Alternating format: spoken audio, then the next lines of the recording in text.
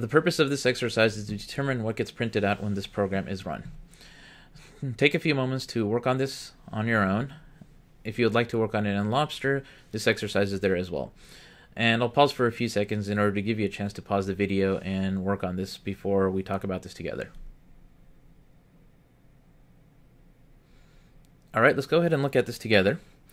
And often, for an exercise like this, it's useful to draw out a memory diagram to visualize what's happening in the program.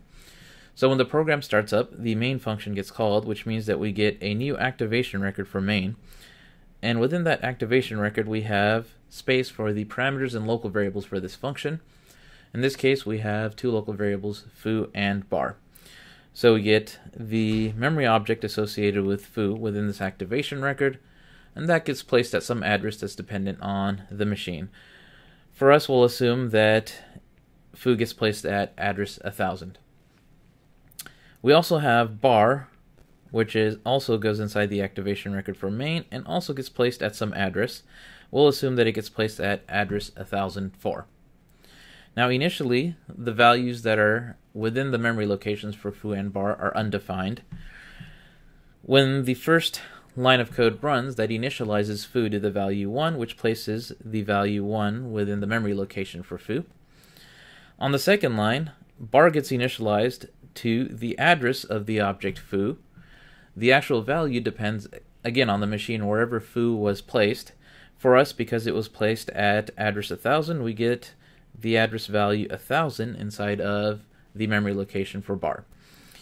More importantly, this is the address of the foo object, and that is well defined. That will always be true no matter which machine we're on. Okay, so we visualize this by drawing a an arrow to the object whose address is stored inside of bar. So bar is pointing at the object associated with foo. Now on the next line, we assign the value 2 to the object associated with foo. So that means that instead of 1 being inside of that memory location, the value gets changed to the value 2. On the next line, we have another assignment, but the left-hand side of our assignment is star bar. And this dereferences bar, which means that we follow the pointer to the object it's pointing at. So we have the address value 1000 within bar, and so we go to the object at the address 1000. Visually, in terms of what we've drawn, what we do is we follow that arrow to the object that bar is pointing at, and that happens to be the foo object. And now we're setting the value of that object to 3, so the contents of that memory changes to the value 3. Moving on to the couts, the first thing that we print out is the value of the variable foo, and as we can see in our diagram, that value is 3. The second thing that gets printed out is the value stored inside of the bar object. And so this was what was dependent on our machine. In our particular case, it happens to be the address value 1000.